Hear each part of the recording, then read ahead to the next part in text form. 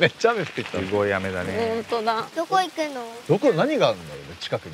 この辺だと那須の方にパンダみたいな猿がいるんだって。パンダ猿？ルーグルで那須ワールドモンキーパーク。あこれだ。まずちょっと画像を見てみて。で下げてる。えじゃあ行き方とかどれぐらいかかる？ほら。あケらんあ一時ここから一間時間半。これパンダ猿。可愛いね。あどっか。